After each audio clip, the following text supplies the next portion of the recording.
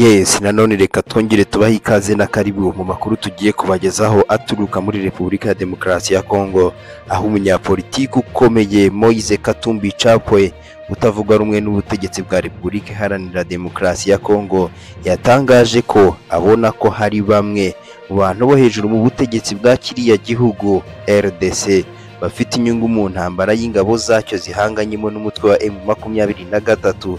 Ikaba ari na yo mpamvu nyamukuru iyi ntambara itarangira. Kuri ubu imyaka irakabaka bitatu ingabo za Repubulika Iharanira Demokarasi ya Kongo zubuye imirwano n'inyeshamba zo mu mutwe wa M makumyabiri na gatatu ziyobowe na General Sultan Emmanuel Makenga.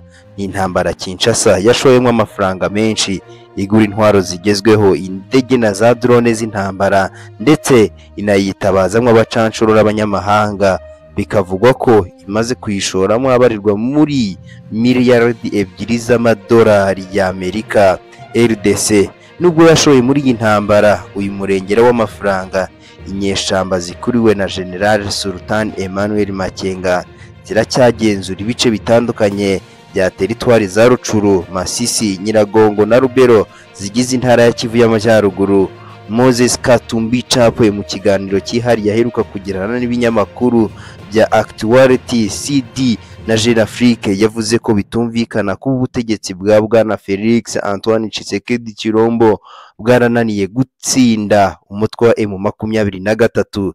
Nyamara ubutegetsi bwa Joseph Kabila Kabange bwarabigezeho nyuma yo gukoresha kimwe cya kane cy'amafaranga RDC imaze gushora muri iyi ntambara. Ati ubwo M makumyabiri na gatatu yirukanwaga mu burasirazuba bwa RDC nari guverineri hari ku butegetsi bwa perezida Joseph Kabila Kabange ingengo y'imari yarengagaho gato cyane igakabakaba miliyoni magana atanu.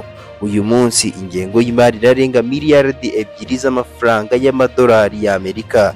Niba dukoresha miliyoni magana atatu tukirukana umutwe wa M makumyabiri na gatatu ariko uyu munsi tukaba twarananiwe kwisubiza ibice bigenzurwa na yo.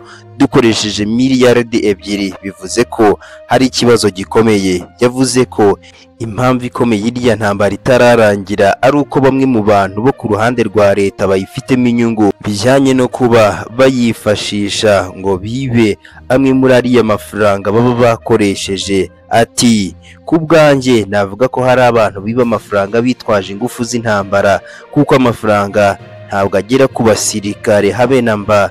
Katumbi Moses Chapwe yunzemo ko kuba Kinshasa ikura inyungu mu ntambara ihanganyemo na M makumyabiri na gatatu iyi ikaba ariyo mpamvu ikomeye. Iyi leta ya RDC Repubulika ya Demokarasi ya Kongo yarahiye kuganira n'uyu mutwe wa M makumyabiri na gatatu uyu munyapolitike yashimangiye ko ibiganiro hagati y'abanyekongo bose ari ngombwa na cyane ko Perezida Felix Antoine Tshisekedi Chilombo ubwe yanigeze gutumiza uriya mutwe Kinshasa ngo baganire.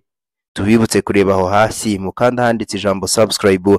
Natwe dukomeze tubagezeho amakuru akomeye ari guturuka muri Repubulika ya Demokarasi ya Kongo aho imasisi umutwe wa M makumyabiri na gatatu wasakiranye na Wazarendo kuri uyu wa mbere ikashuga mu gitondo cyo kuri uyu wa mbere tariki ya cumi na kane ukwakira humvikanye imirwano ikaze yabaye hagati y'inyeshamba z'umutwe wa M makumyabiri na gatatu ziyobowe na General Sultan Emmanuel Makenga n'abarwanyi ba Wazarendo mu mudugudu wa Kashuga ni mu gace ka Mweso umutware wa Bashari mu ifasi ya Masisi muri Kivu y'Amajyaruguru.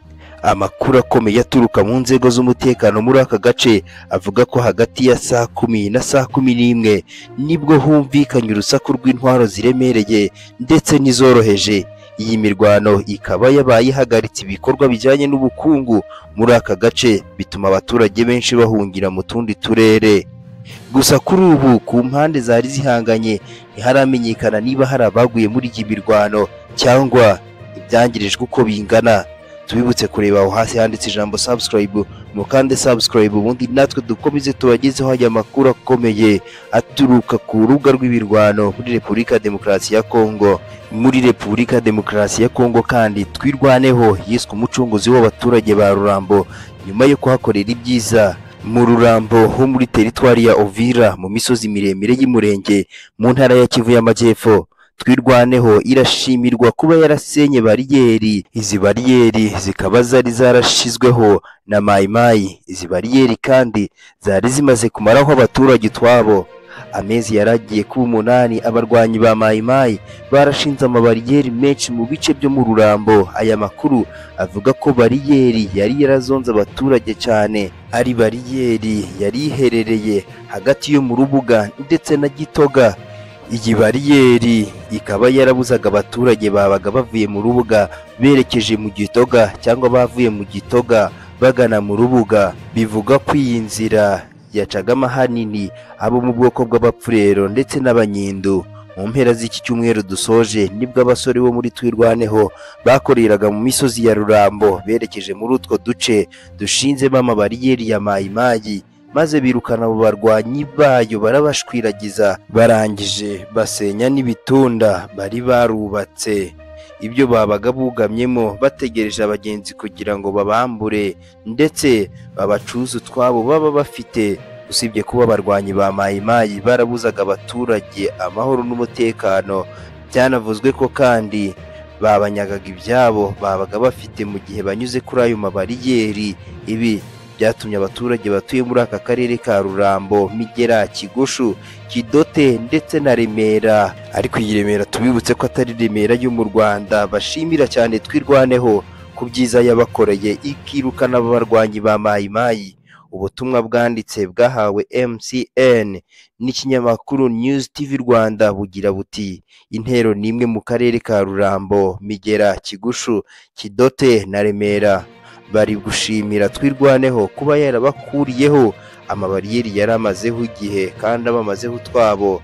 Bakomeza bagira bati abapfurero n'abanyindo kuri ubu. Bari kuvuga ko nta bandi bantu beza nka twirwaneho.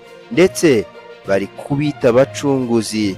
Ku rundi ruhande kandi muri ibi bice haheruka kubera igiterane cyo guha kabadoda w'umunyamurenge inshingano zo kuba reverand pasiteri aho yasimbuye reverand mufarisi uheruka kwitaba imana. Mu giterane cyitabiriwe n'abantu baje bava mu moko yose abapfurero abanyindu ndetse n'abanyamurenge. Bikaba byarongeye kugarura ubumwe mu baturage baturiye aka karere. Uyu kabadoda kandi yahawe kuyobora paruwasi ya gifoni y'itorero rya metodiste libre. Kuba aka karere karongeye kugarukamo amahoro n'umutekano. Tubikesha twirwaneho nk'uko abaturage bo muri ibi bice bakomeje kubyigamba. Tubibutse gukanda aho hasi handitse ijambo subscribe kugira ngo natwe dukomeze tubagezeho amakuru menshi meza tuba twabateguriye kandi dushimiye abamaze gukanda subscribe. Ndetse namwe mutarakanda subscribe n'ahanyu ho kugira ngo mukande subscribe murebe aho hasi.